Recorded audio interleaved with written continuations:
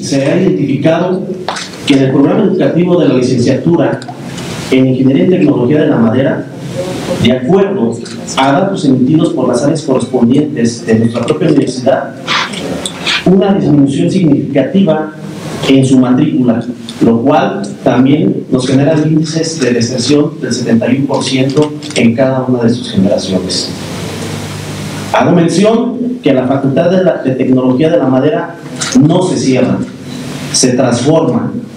se fortalece con acciones contundentes que, generaremos y que se, se presentarán eh, a partir de los siguientes días. Quienes actualmente se encuentran matriculados en los semestres tercero, quinto, séptimo y noveno que cursarán el ciclo 2023-2024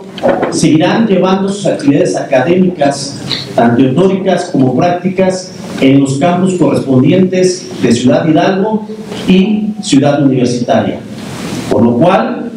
no hay ningún cambio para los estudiantes que actualmente se encuentran matriculados en nuestra universidad en el programa de Ingeniería y Tecnología de la Madera.